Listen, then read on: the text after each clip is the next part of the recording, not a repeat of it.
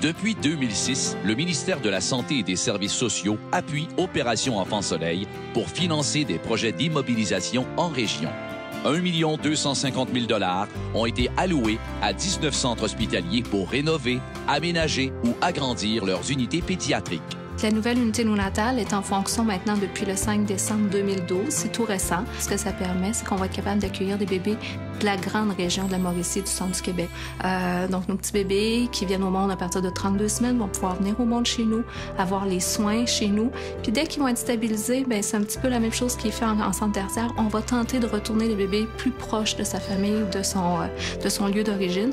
C'est important de donner parce que c'est pas facile pour des parents d'avoir un enfant malade.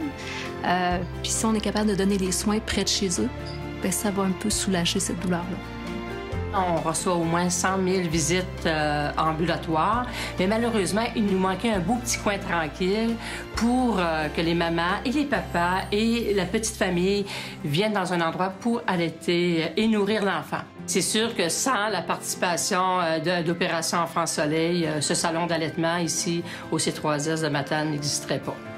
Enfant Soleil, c'est une contribution de l'ordre de 140 000 euh, qui euh, nous a permis de façon toute particulière euh, d'aménager le gymnase. Alors un gymnase qui est entouré de salles aussi où les parents ou des professionnels pourront observer les enfants pendant qu'ils sont en intervention sans avoir un impact sur ce qui est en train de se passer entre l'intervenant et l'enfant. Opération Enfant Soleil, euh, c'est vraiment c'est l'espoir. C'est l'espèce de levier dont on a besoin pour euh, vraiment pouvoir comme ça contribuer euh, tous ensemble au mieux-être des enfants du Québec.